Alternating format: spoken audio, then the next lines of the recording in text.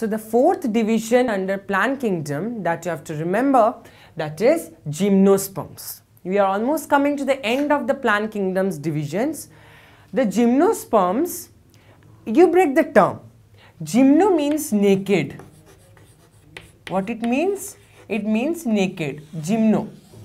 And sperms mean seeds. So just make the word, it will be naked seeds. That is the seeds without any covering. In case of gymnosperms, you can see the very gradual development in case of the plant kingdom. Thallophyta only thallus structure, Bryophyta root-like, stem-like structure, Pteridophyta we get the vascular tissues and now we get the seeds. We have come to the second last division of plant kingdom that is division with seeds.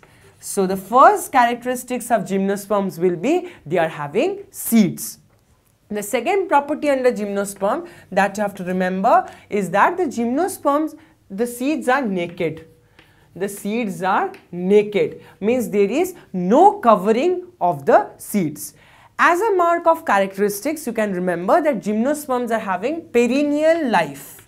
Perennial. Perennial means they can live up to years, 5, 5 50 years, 70 years. One of the most important example of Pteridophyta is that of the pines. You have seen pines in the northeastern states of India.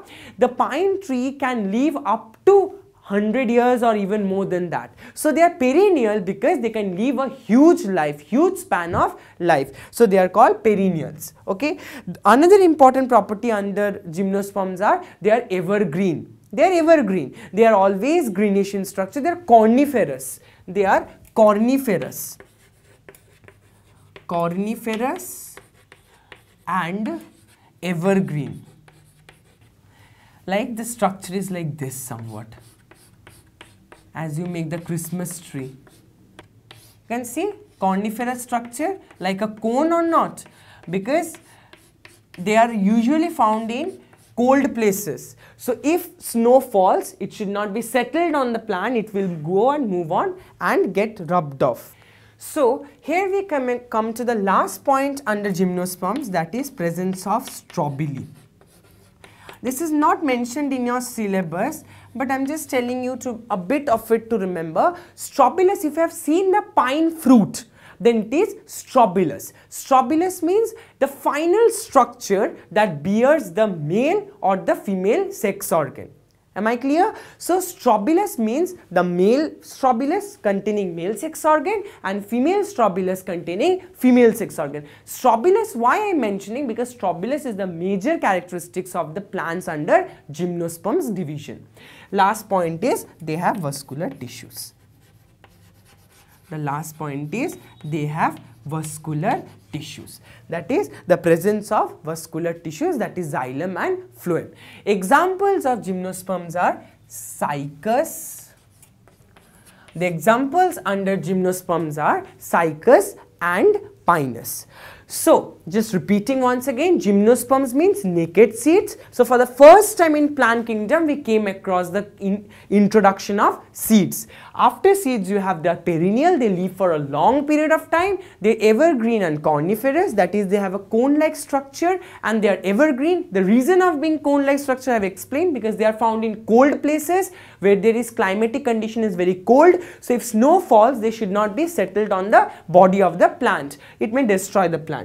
Next is there is presence of strobilus. Strobilus is the collection of the male sex organ and the collection of the female sex organs. So, male strobilus, male sex organ, female strobilus, female sex organ. And the last point is they have vascular tissues, they have clear xylem and phloem for the conduction of food and water from various parts of the plant to the destined places. The last portion we are coming, the last division that is angiosperms. The diagram of angiosperm I have already made. This is the basic diagram of a angiospermic plant. I have made the comparison as I have already told you in case of pteridophyte itself we have got roots and stems and in case of gymnosperms also there was true root and true stems.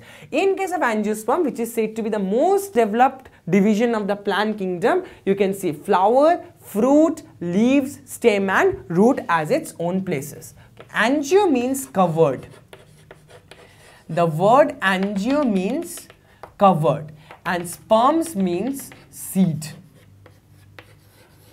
So the angiosperms have covered seeds. Seeds means what? After say the male gamete, this is the male gamete and this is the say female gamete.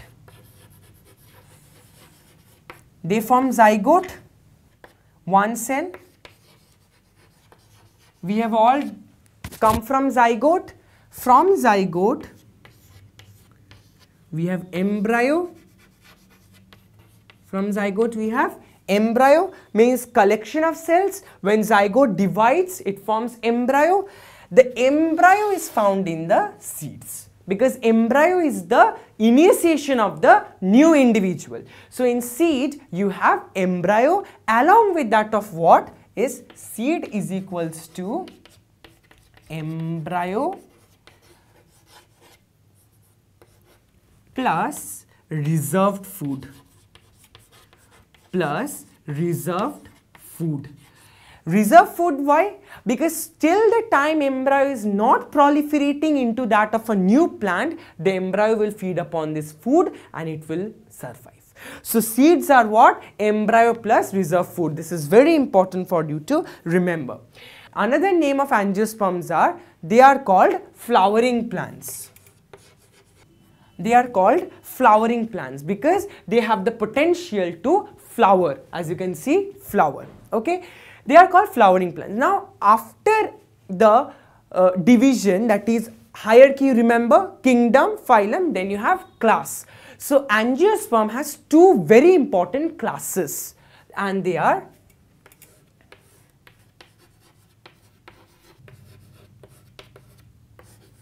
monocots and dicots. Mono means one, cot means cotyledon. Di means two and cot means cotyledon. So they have one cotyledon and they have two cotyledons and that's why it has been divided into two classes. What do you mean by cotyledons? Cotyledons are called seed leaves. What are they called? They are called seed leaves.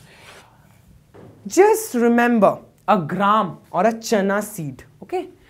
How does it look? This you can see a chana seed after immersed in water. So you can see 1 and 2, these are the two cotyledons. That is two coverings of the seed. And in case of say maize, there is only one leg structure. This is monocot. So this is dicot and this is monocot. Mono means 1 means 1 cotyledon, di means 2 means 2 cotyledon. Mono means 1 means 1 cotyledon, di means 2 means 2 cotyledon and cotyledons are what? They are called seed leaves. So we have got the two classes of the angiosperm.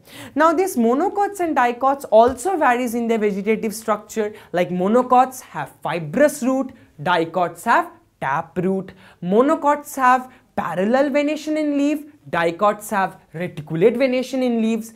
So these are the various difference in the vegetative structures of the plants with monocot and dicot seed. Coming to the last topic of plant kingdom that is phanerogams and cryptogams. Just remember that you have heard about five divisions that is one division is that Thallophyta, Bryophyta, Pteridophyta, Gymnosperms and Angiosperms characteristics we discussed. One is they are flowering plants, they have covered seeds, they have two classes that is monocots as well as dicots. Examples of angiosperms are ample in your surrounding. Mango, guava, sunflower, mustard, maize, wheat, rice, gram, dal, lentils, anything which you see around you comes under the example of angiosperms. Now just the last portion is cryptogams and phanerogams that are the two that are the two categories of plant kingdom. Cryptogams and phanerogams this is it. The first three divisions just recap once. Thallophyta bryophyta and pteridophyta they have no seeds. They have no proper sex organs We have heard that the sex organ is simple and single celled. There is no proper sex organs. So they will come under the category of cryptogams.